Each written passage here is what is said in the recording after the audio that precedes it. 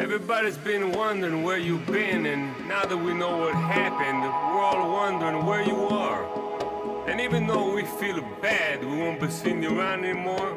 We want you to know we feel better, we won't have to worry anymore. We know your only worry now is you worrying about us, worrying about you. And even though we stopped worrying, that doesn't mean we're not still sad. And we're happy to let you know that